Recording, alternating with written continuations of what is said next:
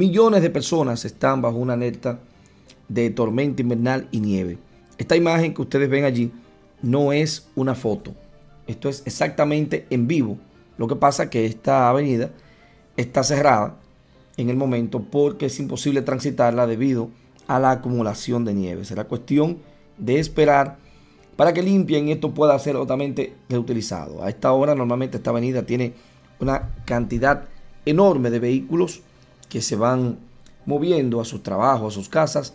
Sin embargo, al día de hoy, repito, no es una foto, es un video totalmente en vivo, así como mostramos algunos otros que sí pueden circular. Esto es específicamente en Kansas City. Eh, bueno, no, perdón, esto es en Iowa, esto es Chicago, esto es Iowa, esto es en Iowa.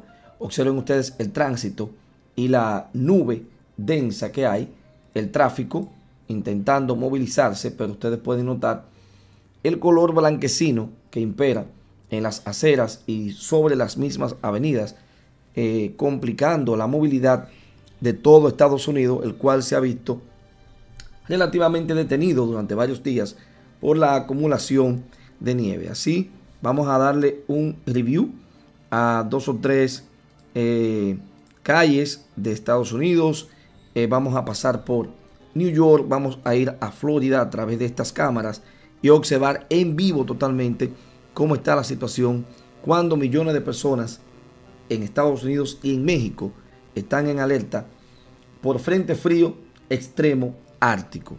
Más de 95 millones de personas en Estados Unidos afectadas. Las tormentas árticas dejan a su paso ya cinco fallecidos y apagones, pintando de blanco el sur y parte del este del país, cancelando eventos políticos y hasta un juego de la NFL en Estados Unidos.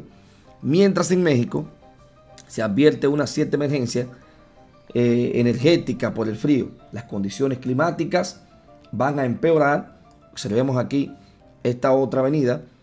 A medida de que vaya eh, esta tormenta adentrándose más en el Frente Frío 27 en México, ya que las condiciones climáticas han afectado bastante a la circulación y movilidad de la persona. En Estados Unidos, las condiciones climáticas además han afectado la campaña electoral estadounidense que este lunes vivió su primera contienda. La fuerte nevada cubre la carretera de Estados Unidos, cuyo territorio es afectado por esta tormenta invernal que ha semi paralizado muchas ciudades y deja un saldo ya de cinco fallecidos. Las temperaturas bajo cero están modificando la agenda con cancelaciones de vuelos, apagones, tránsitos, eh, accidentes de tránsitos, eventos políticos y deportivos. Solo en Estados Unidos, 95 millones de personas bajo aviso de la sensación térmica. Y en algunos estados se esperan temperaturas de hasta menos 56 grados Celsius. Observen aquí en esta otra imagen eh, tomada justamente hace unos instantes. Esta sí es una fotografía. Ustedes pueden observar la cantidad de nieve que hay en las mismas calles. Relativamente casi imposible la circulación en esta vía.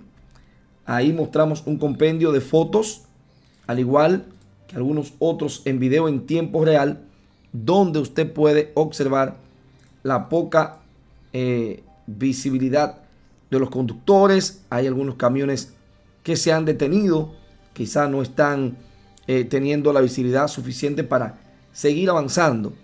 Observen todo el alrededor de la, de la Interestatal 29, específicamente, cómo se encuentra en este mismo instante.